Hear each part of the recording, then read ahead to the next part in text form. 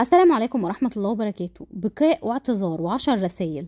بيومي فؤاد يكشف تفاصيل لأول مرة بعد أزمته مع محمد سلام لايك ومتابعة عشان يوصلكوا كل جديد. الفنان بيومي فؤاد كان ضيف على برنامج حبر سري وقال كتير من الموضوعات ومنها أزمته الأخيرة في موسم الرياض وعن كمان مشاريعه خلال الفترة اللي فاتت والفترة اللي جاية.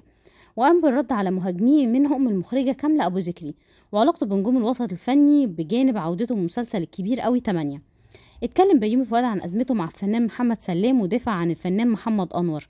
اللي جه بديل لسلام وقال كتير من التفاصيل أول مرة يقولها.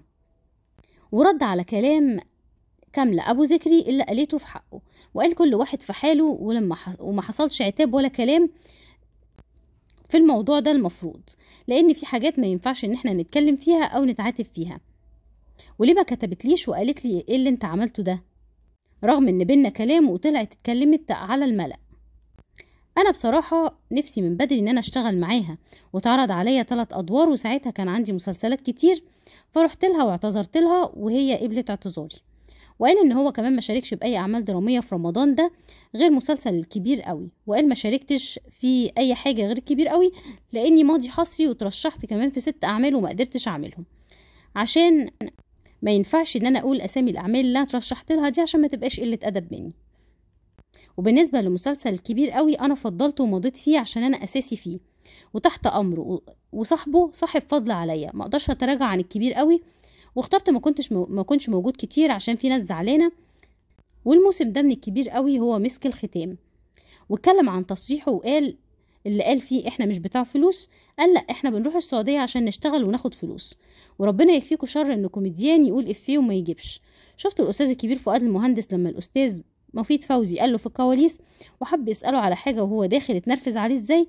وده كان في آخر أيامه كمان. إحنا بنتعب وبنتوتر وحقنا عادي إن إحنا ناخد فلوس. ولما اتعرضت صورة محمد سلام في البرنامج قال ربنا معاك. إزاي ما تطلعش تدافع عننا؟ إزاي ما تطلعش تدافع عن محمد أنور وأنت اللي مرشحه؟ وحقك عند ربنا. أنا صدقتك جدا وأنت قلت في الفيديو بتاعك لا نفاق ولا رياء. وأنا وجهة نظري العبيطة عشان أنا راجل طيب ما كنتش هتخسر حاجة لو طلعت قلت أنا ما قدرتش. ومش معنى إن محمد أنور قدر وراح يحصل معاه كده. وخصوصا إنك طلعت تدافع عن أمير كرارة لما طلعت إشاعة بتقول إن أمير مشاك من المسلسل بتاعه. وأنت ما كنتش معاه في المسلسل طلعت ودافعت. طلعت دافعت عن الناس دي وما طلعتش دافعت عن محمد أنور رغم إن أنت اللي اخترت إن هو يكون موجود معانا بدالك. وقال أنا مش طالع النهارده عشان أرد على اللي شتمني ولا أرد على الجمهور واللي قالوا عليا. وقال أخويا محامي وكان ماسك القضية واكتشفنا إن ولاد عندهم 17 و20 سنة وأنا عندي 59 سنة. أما يبقى حد عنده 17 سنة ويشتمني بأمي وأبويا فالعيب مش عليه. العيب على اللي رباه لا أكتر ولا أقل. أنا طالع النهارده أتكلم للناس اللي بيحبوا بيومي فؤاد وزعلانين منه أنتوا فوق دماغي. وبقول للجمهور أنتوا فوق دماغي الفنان من غير جمهور ولا حاجة. وكده وصلنا لنهاية الخبر والسلام عليكم ورحمة الله.